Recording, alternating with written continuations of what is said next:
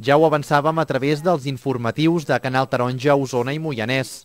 Marina Geli, consellera de Salut del 2003 al 2010 i actual coordinadora del Centre d'Estudis Sanitaris i Socials de la Universitat de Vic, Universitat Central de Catalunya, ha acceptat formar part de la llista de Junts per Catalunya ocupant una posició simbòlica, el número 81 per Barcelona. Igualment ho ha fet la popular il·lustradora i ninotaire bigatana Pilarín Vallès, en el seu cas número 84 per Barcelona. Aquest dimecres, tant Geli com Vallès han passat pel programa El Termòmetre de Canal Taronja, Osona i Moianès per parlar de la seva decisió de donar suport a la llista de Puigdemont per les pròximes eleccions del 21 de desembre.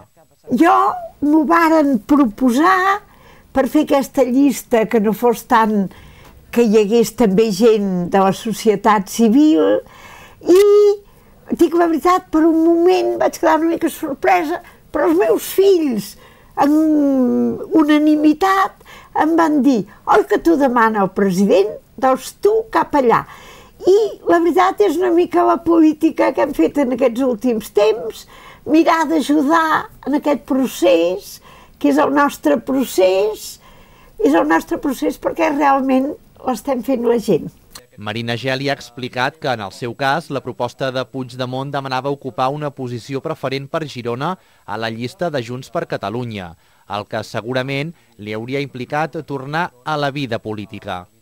Jo li vaig dir que no, no, no em semblava que volia tornar, que no volia tornar a la vida activa parlamentària, però que per descomptat eh, el meu compromís en aquesta llista que considero no només que és la llista del president, perquè un objectiu d'aquestes eleccions és retornar al govern. I li vaig demanar, escolta'm, però moltes gràcies, però voldria, voldria anar a un lloc simbòlic. Jo em veig en aquest moment més en un àmbit doncs, de recolzament de la candidatura, eh, perquè crec que aquesta és una candidatura transversal, de país, que té diferents objectius.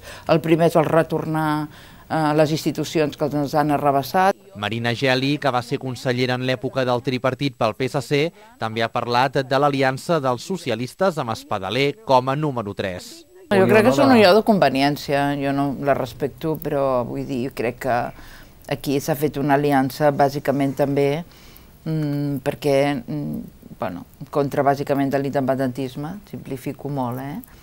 però vaja, jo crec que no, tinc molt interès a, a parlar d'aquesta unió. Mai jo tampoc he parlat malament del PSC. Una altra cosa, l'orientació en aquest moment de que ells han pecat per defecte. Jo amb el PSC sóc crítica per defecte. I la vida es peca per defecte, eh? Sí, tant, És a dir, tant. prefereixo equivocar-me per acció que pecar per defecte i davant d'una situació com la que tenim, l'única solució és la política.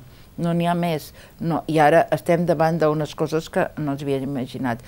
L'exconsellera ha assegurat que havent format part del PSC no li agradaria pensar tampoc que després de les eleccions del 21 de desembre es fes efectiva una suma de forces entre el PSC, Ciutadans i el Partit Popular per fer front a l'independentisme, tal com han especulat alguns mitjans aquests últims dies.